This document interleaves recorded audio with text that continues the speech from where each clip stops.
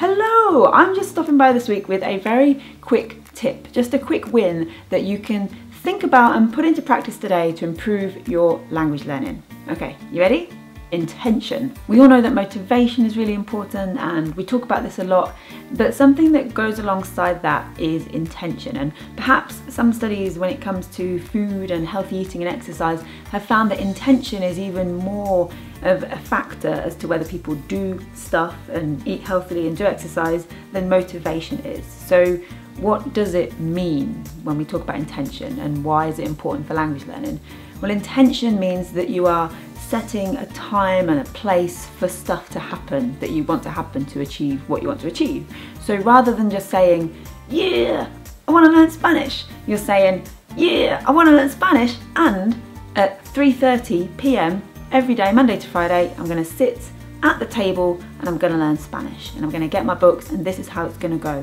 And you're setting more of um, a clear path for how it's going to happen and what you're going to do to make it happen. And that's really what intention is all about. And it's a real changing factor. So if you remember anything, if you learn anything today about language learning, take away this little chunk and think, okay, so when this happens, I do that, right? And then fill in the this and the that. So for example, when I drive to work, I listen to my French podcasts. When I drive back from work, I listen to my Spanish music playlist on Spotify, right?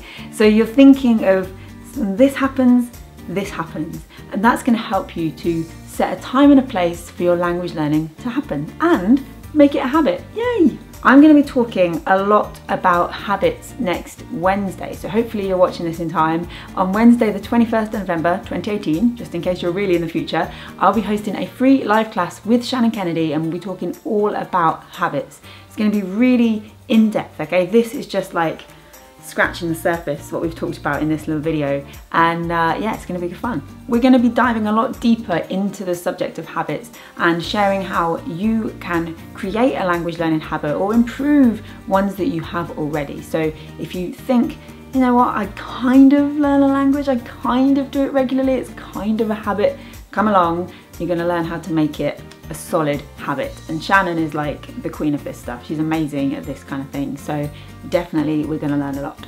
Links to sign up and all of that stuff are in the description below this video.